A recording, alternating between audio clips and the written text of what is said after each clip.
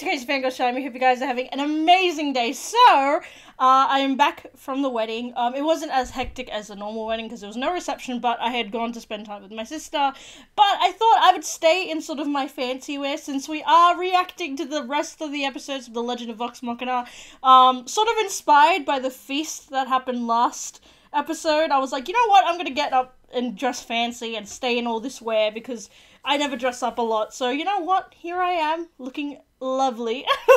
um, this look usually for weddings I try and go for a look. So the theme that uh, I make up the themes in my head because just I like making a theme and then looking for a dress that sort of suits it. So for a previous cousin's wedding, I did like a, a beautiful green dress that was sort of inspired by um, Princess Princess um, Tiana from Princess and the Frog, um, and I just loved that dress, and I inspired all my makeup and stuff off of that. And then for this one, it was a mixture. So it was a mixture of like, and this was last year. This is um, Enola Holmes inspired, and this is very funny because yesterday a small teaser of Enola came out, and I was like, oh my god, this is just too good to be true. Um, and so it was inspired by the Enola Holmes like film and sort of like the 1800s sort of vibe. Plus, um, The Witcher, just because of the colors and even just like the hairstyles and stuff. I love all that sort of like vibe. So yeah, today this is my look. Um, so I hope you guys like it. And also, I just want to shout out to my mom. My mom did my hair today, and just look at this gorgeous the back of my head. Um, this was after everything. Like before that, in the morning. Actually, there are a few photos I can show. Like here, she did my hair so beautifully, and made me look like a princess. So thank you to Mama for that. And she put like she bought me this beautiful comb. Oh, I feel a little bit spoiled because I feel like an actual princess today. But anyway, let's stop enough of that. Um, but anyway, I've got a ring light finally. Um, but it's a little bit hard to sort of like position at the moment because I've got like my desk and stuff. So maybe I can sort of shift things around eventually. But yeah, Anyway, we're gonna jump into the next episode of The Legend of Vox Machina, um, and it is called Shadows um, at the Gates. Mm, so it looks spicy. Um, so let's just jump straight into it. But before that, please remember to like, subscribe, and comment if you enjoyed this, but also keep up to date with all my other reactions to more TV shows, movies, and video games. So without further ado, let's jump straight into it. I will see that they are properly punished.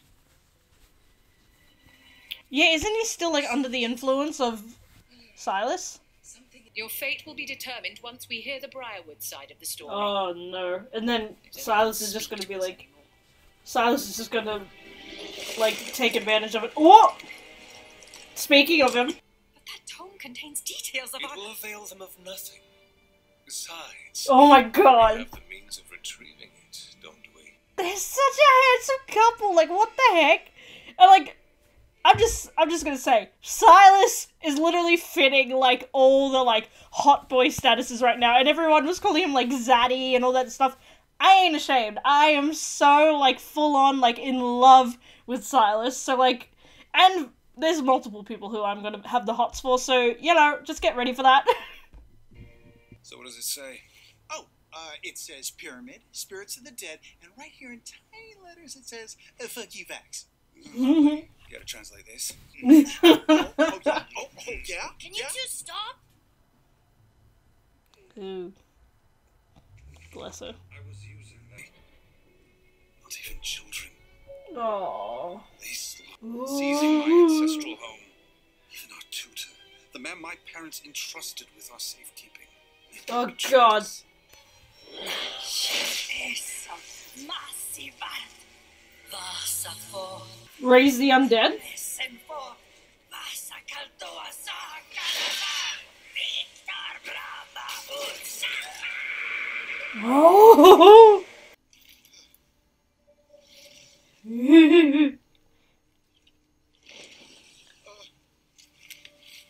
Is someone there?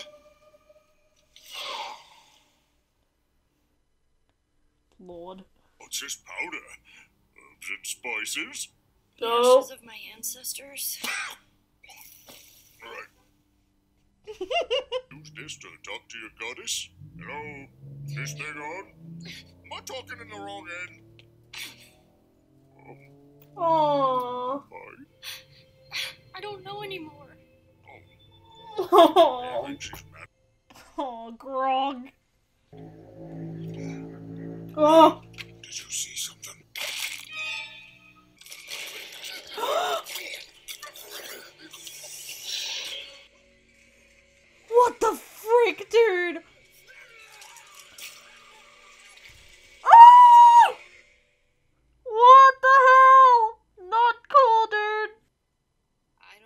Home until I complete it and hmm. prove myself worthy.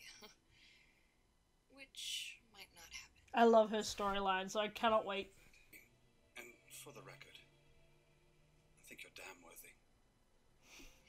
But there's a world of difference between your That's my favorite line. Oh, Trinket. What's the fuss, boy? Nothing's out here. Oh!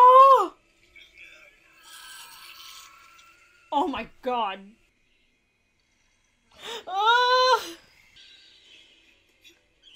Oh god! Vex! Oh no, they need holy magic or radiant damage.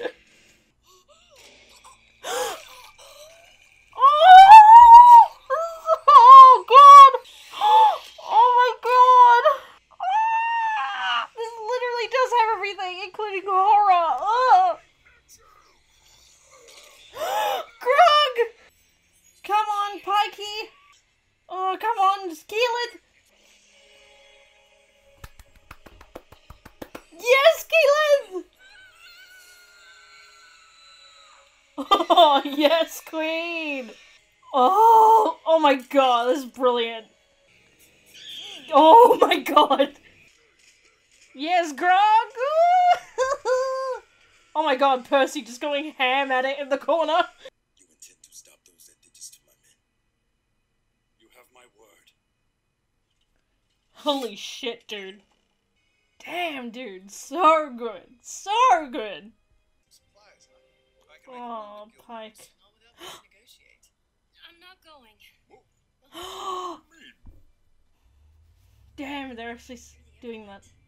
What if I need you? Oh, oh these two. Talk to me, I love them. even if I'm not around.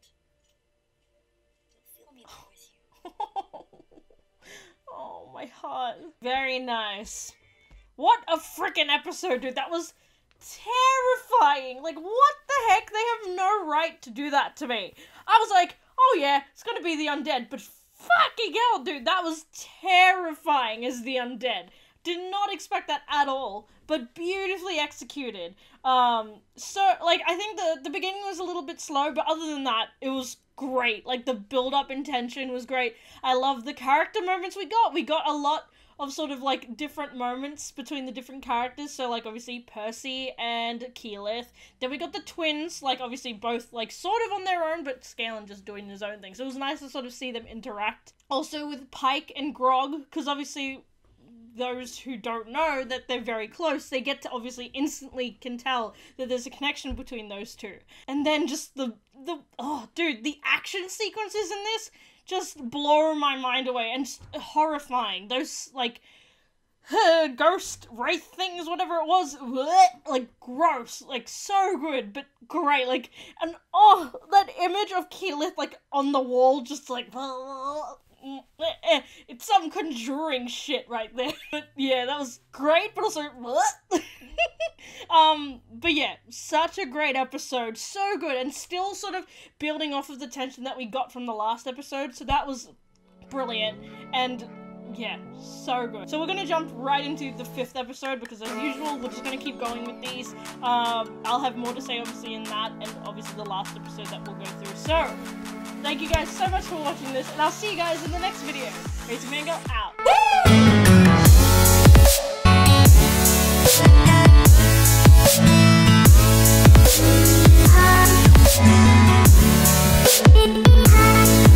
Woo!